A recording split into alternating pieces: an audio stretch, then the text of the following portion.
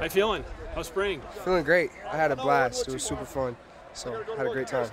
Uh, with uh, Coach Dreiling, just how is uh, just the def- defensive mindset? Is it different much, or just new pieces, new faces? Just takes time to get familiar. Yeah, a lot of new pace, uh, new pieces and new faces. I mean, it's but it's been great. I feel like we've all been able to mesh together. You know, we're kind of flowing towards that brotherhood that we need to form. So, but it's been great. You know, a lot of new guys. Coach A's named a lot of new uh, new guys on the defensive side. So, but I mean, shoot, it's been it's been a blast so far. What do you feel have been the like? What do you feel have been the biggest strides you guys have made, kind of collectively as a defense, uh, from beginning to the end of spring camp? Uh, I just think playing hard every play.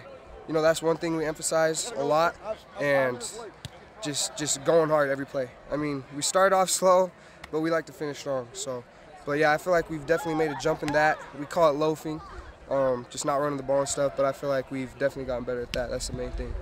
So you guys had a few big plays, forced a couple of turnovers, some sacks. How do you feel like with this defense's ability to be dynamic and make some of those big plays? Yeah, I mean, shoot, we got a lot of athletes on our side of the ball. It's it's it's crazy. Um, so this defense that you know Coach Dreiling put in, it's it's perfect. It fits us perfectly. You know, we can run, gun, and make plays, and that's really what it's about at the end of the day. Coach talks about developing the depth in the two deep, and they're adding players through this last recruiting uh, process with the transfer portal and things like that. How do you feel like the, the, depth of this team is now compared to where it was a year ago, even after spring? Oh yeah, it's, it's great. I mean, obviously we've had a few people transfer out, but you know the core the core people on this team, you know the majority of us have stayed, and you know our two deep, even three deep, has been great. So. I'm, I'm excited to see what we can do, and it's always it's always great to have people you know behind you that are just as good as you. So. So what's it like, like in the locker room? So sometimes guys transfer out. Sometimes maybe expect them to. Sometimes it's a surprise. Just what's it kind of like? Still going through spring practice, and suddenly guys are making decisions to go elsewhere. Uh, yeah. I mean, it sucks. Like it, it, it definitely sucks. But you know, at the end of the day, those guys are gonna make a decision that they think will fit them best and where they think they'll be successful. And you know, we just all got to respect that decision. You know, everybody that's transferred out, we haven't you know, talked bad about them. We just we just hope they're successful because that's that's all we want as teammates, right? You know, because we're, we're all close. So we it's, it's been it's been sad, but I mean we want what's best for everybody at the end of the day, and that's if you got to leave to go if you got to leave and go somewhere else to play, then you got to do what you got to do. So.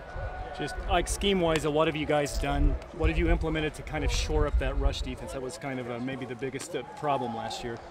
Oh uh, yeah. Uh, it, honestly, it, it, it really doesn't have anything to do with the scheme. It's just it's just the, the heart, you know, the, the players. You know, if you're gonna play hard, you're gonna play hard, and we got people that play hard. So, I mean, that's the main thing. Yeah, the scheme works, but I mean, honestly, you're only doing the scheme for the first three three seconds of the of the play, and then after that, you're just running and gunning and playing football. You know, getting to the ball, and we have that. So, we got a lot of hustlers on the team, and you know, that's why I think we're gonna be great. So. you guys were dancing around a lot during the practice and everything. Talk me through a little bit about your guys' culture as a defense and kind of how it forms into a brotherhood. Uh, yeah, man, we just want to have fun. I mean, just together and collectively, no matter what, you know, we're down 20 or up 20. Like, we're, we're going to celebrate and have fun together because I think that's the main thing. Um, just celebrating your brother's, you know, uh, accomplishments at the end of the day because, you know, that shows that you care for another person and then, you know, you're going to play for, you know, the person beside you and not just yourself, so. Frankly, I like the sound of Ike wants to have fun a lot better than girls want to have fun. Me Maybe too. We change the lyrics there. We might have to. I gotta hit up Snoop Dogg and uh, Katy Perry. I gotta. I gotta see what they can do with that. Anything else Ike? Okay.